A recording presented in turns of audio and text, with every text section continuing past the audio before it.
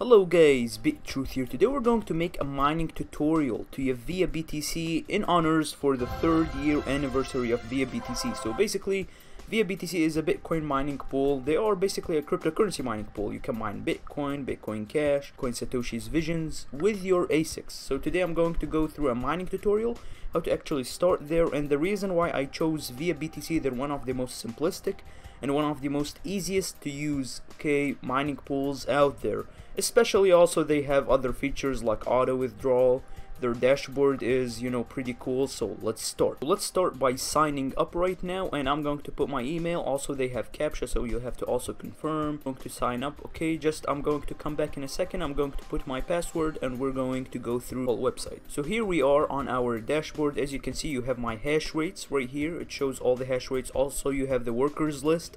It shows you the active inactive all the list which is really interesting. You don't see this in a lot of mining pools. Okay everything uh, good.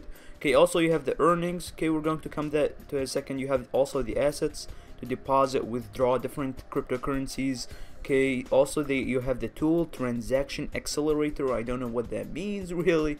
You also have the pools the statistics total blocks total coins everything mined. You also have their application which is you know the opening. Also they have via wallet another wallet okay for their pool. So it's really interesting. Now here you also have the hash rates. Okay the 10 minute average one hour one day. So it's all going to show up. Now here we have a list of miners. We're going to choose the Antminer S9 okay in the end of the list to actually use it for mining. Figure the miner to mine to via BTC now it's really easy to do. Okay all you have to do is go to the settings. You take the pool's URL and port okay you copy that for BTC you change that on your Antminer application. Okay for your Antminer S9 you also need to change the worker's name to your account name. So my account name is Adam Stokes Crypto. Okay and then you save and apply. The last thing we have to do is add a withdrawal address. Now right here you can go to actually you know add a auto withdrawal address.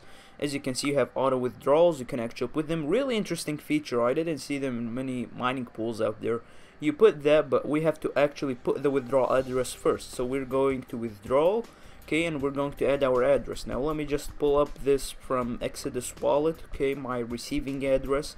So we can actually receive the revenue we are mining from you know from via BTC okay via their mining pool kick back, relax, and look at our hash rates. As you can see, if we go to the dashboard, as you can see, you have the 10 minute average 4.75 terahashes, 1 hour average about 791 gigahashes.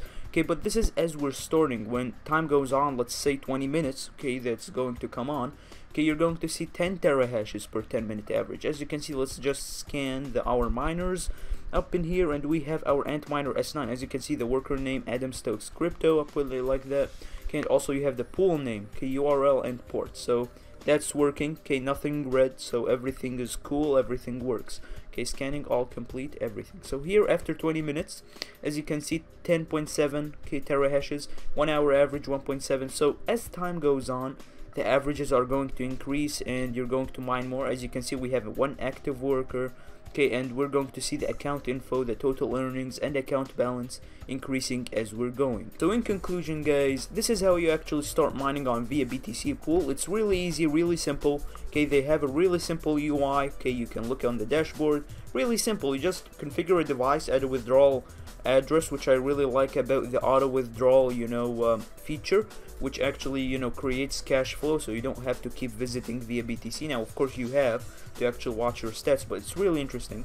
And you just watch your profits you know the terahashes you check up on them so nothing really you know really hard. So happy three year anniversary at via BTC and see you guys on the next video